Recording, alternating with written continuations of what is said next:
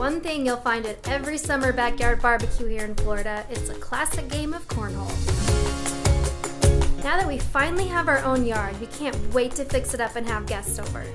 So when Black & Decker reached out and asked me to try out some of their tools, I knew exactly what I wanted to build.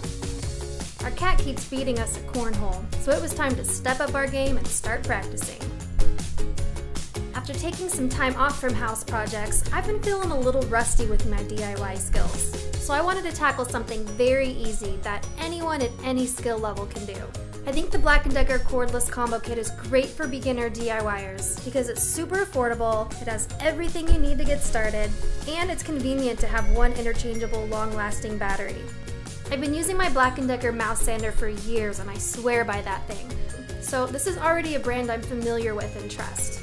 Okay, let's get building. Now there's several different lumber materials and sizes you can use to build your set and I wanted to keep mine as close to regulation standards as possible, but also lightweight and easy to store away.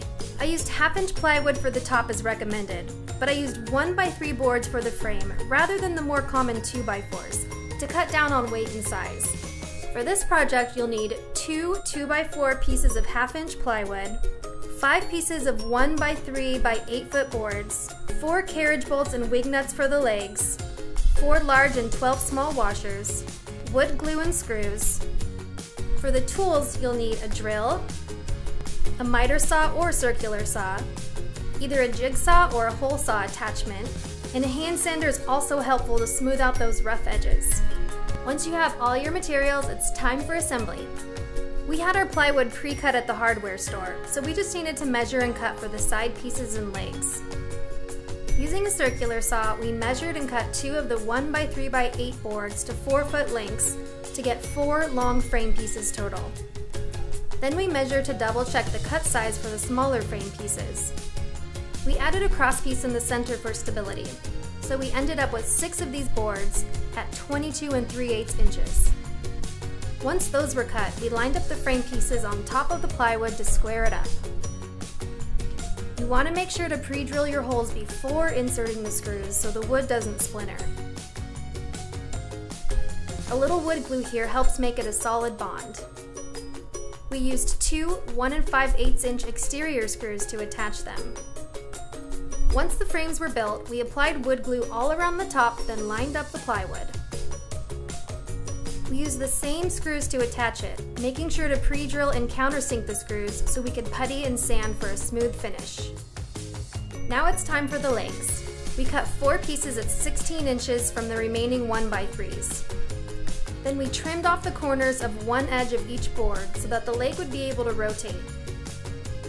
On the back side of the board, we lined up the leg on the inside corner. Once the leg was lined up to where it could rotate backwards, we clamped it in place and drilled through both the leg and the frame using a 5 16 inch drill bit.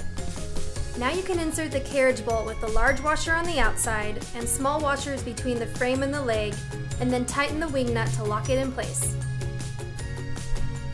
After both legs are on, prop up the board so that the back is 12 inches tall, which is regulation height. You'll want to do this on an elevated surface so that you can either swing the legs off to the side or mark the angle where it intersects the ground like we did. Using a saw of your choice, cut each leg along this line and reattach them to the frame. Regulation calls for a 6 inch hole centered 9 inches from the top and on both sides. You can use a jigsaw to cut the hole, but for more professional looking results, we used a 6 inch hole saw attachment. Finally, you'll want to putty all the holes and give it a good sanding so that it's smooth and ready for paint or stain. Before the final step, you'll want to make sure you have a clean and dust-free workspace. For messier jobs like this, we always have our cordless vacuum charged and ready to go. I chose to paint the boards in a classic black and white stripe and sealed it with a varnish to protect the finish.